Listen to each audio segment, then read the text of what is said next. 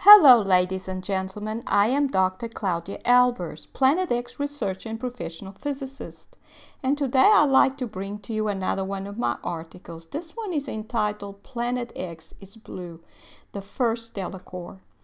Now, in May of 2017, Scott Sion was able to photograph an object in the sun's corona through his telescope. The object looked hazy and striped at first, but some of the images were clear enough that many features about the object and its blue light emitting surface became discernible. And after converting some of these images to higher resolution, the surface features became even clearer. These observations led to the beginning of the use of the term stellar core in reference to these objects that had been and continued to be observed in the sun's corona through images coming off spacecraft observing the sun. These objects behaved differently from solar system objects and were thus clearly solar system invaders as they had to be coming from outside the solar system. And here is one of the first images we obtained of the object. As you can see, uh, it is a bit hazy. It seemed to be striped, obviously blue. Uh, there seemed to be matter floating around it, uh, some clumps of matter and some clouds uh, around the object. Um, we could not see many of the features when you know that uh, this object is actually covered in groove like uh, uh, structures. Then you can just almost uh, see some of these through in this image. There are some signs that they are there here and there uh, but it's only when it's converted to uh, high resolution that it becomes clear that the whole object is covered in these grooves. But in such a large object, these are not actually grooves, these are fissures. This means that the whole uh, surface here is fissured. You can also see that the stripes is made up of material that it appears to be shedding because there's more of it in some places than others. And of course, there's all this material that seems to be floating around the object. There seems to be a cloud of dust that seems to be coming off the object. And you can see it looks like uh, some kind of mountain peak here made up of this upper layer. layer. Uh, so obviously just more material clumped together there than everywhere else.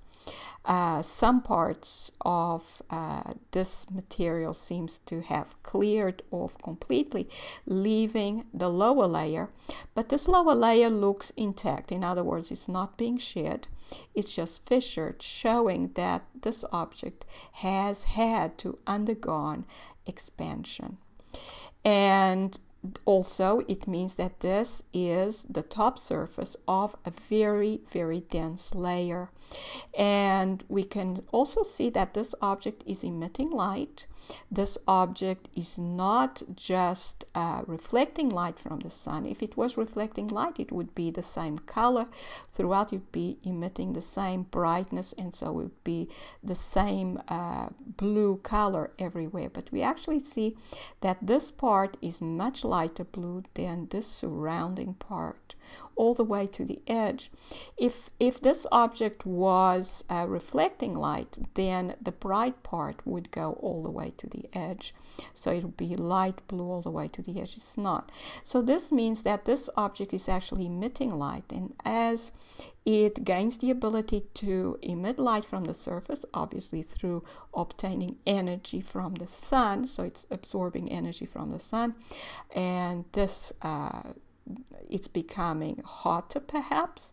We can explain in terms of heat but basically it's gaining energy. It's able to emit more light. So it most likely started emitting light from here. This is most likely the hottest spot on the object therefore it's lighter blue. And the surrounding uh, region here uh, does not have as much energy yet but obviously it will most likely spread outwards from uh, the hot spot. So this region will in time get uh, lighter blue. So uh, the hard surface is very um, um, even with no great changes. You can see uh, no great change. The changes in elevation are on the layer that it is shedding. So there's a large amount of dust and the material, uh, even the material that it is shedding, all appears to be solid material. So there does not seem to be any liquids or gases on the surface of this object and uh, we can see that this material that it's it's being shed is just floating around. It's obviously not attracted to the objects not attracted to the sun that is right here very close to the object. So this means that this matter is very low in gravitational influence. It's not able to uh, attract or be attracted gravitationally by the other objects. And later on I, I discovered that that is because it's very low in energy. And so the object obviously expanded and lost that outer layer. And the fact that it's uh, not um, gaseous, uh, it's obvious it's not a gaseous uh, gas giant because there's no gaseous material on it. It does not seem to have an atmosphere at all. So uh, it's not a gas giant. Now the stripes that we do see on it indicate that the object has a magnetic field. A stripes are a sign that matter is conforming to the shape of a magnetic field, which is always toroidal in shape. And as I said before, the object is emitting light, not reflecting. The blue stellar core does not have the type of surface that we would expect to see on any solid celestial object.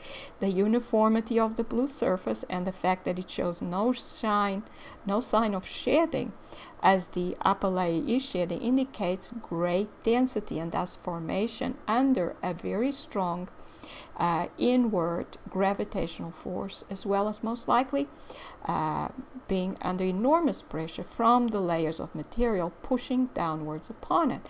That is when the upper layers were still being attracted to the center of the object. It is also not marked by large numbers of craters, suggesting that the blue surface has not been exposed for long. The fact that it seems to be uh, a lower, very dense layer of an object suggests therefore that it is the core of the original object. This then suggests that this object, and therefore the other members of the system which behave so differently from other objects, in that they can hover in the sun's corona without colliding with the sun, are remnants of what was once a complete celestial object with many layers of material covering the core and a surface with uneven terrain and an atmosphere above that. This indicates that these objects have undergone a process that caused expansion and made them lose all those layers to the point that their cores were exposed. This is the observation that led to the naming of these objects stellar cores. And we see one of these stellar cores here in the sun's outer corona. This one is at least three times the size of the sun, possibly larger. It is a rough estimate. Uh, the size of the sun is indicated by the white circle on the occulter. So you can see this object is much larger. It is in the sun's outer corona and therefore still close enough to the sun that we can do a size comparison um, and estimate its true size from that. And I do explain all that in article 265 entitled Planet X, object three times the size of the sun. Now, the objects that had been invading the solar system were known to absorb energy before the blue stellar core observation. This could be understood from observing the object that became known as the 2007 stellar core, which absorbed energy in the form of light from the sun as it approached and traversed the sun. An object that absorbs energy is likely to be an energy depleted object, and thus it became understood that these objects were energy depleted and that they used light as energy. The fact that the sun seemed to be getting darker also indicated that the sun was getting depleted by these objects. You may look at Article 195 entitled Stellar Cores and the Dying Sun for more details on that to see some of the SDO images that clearly show that the sun has become darker over the years. It also became clear to me that uh, these objects do not obey normal gravitational law. And you may look at Article 210 entitled Stellar Core Gravity Tidal, and G is not constant. As they are often huge and yet hover close to the Sun without a cataclysmic collision occurring. And here is the observation of the blue, uh, not the blue, the 2007 stellar core, because it was observed in stereo B images from 2007. And here it is approaching the sun. It goes on to actually traverse the sun. I've written a lot about that.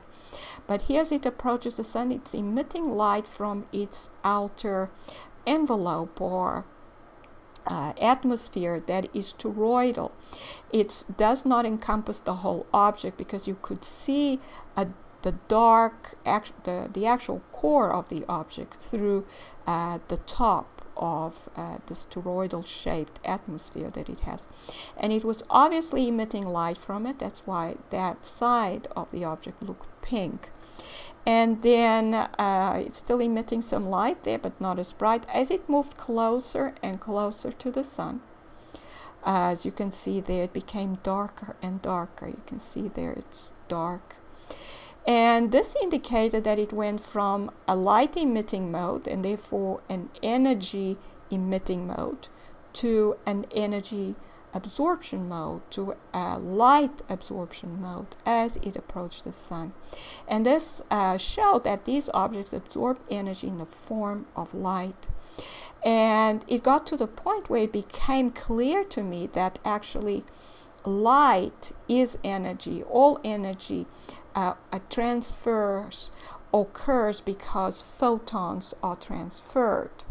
And with, uh, like with all objects, this energy, this photon energy that is inside the particles of an object gets transferred through the gravitational field of an object the stellar cores have very weak gravitational fields, so they have to come very close to the sun in order to absorb photon energy from the sun.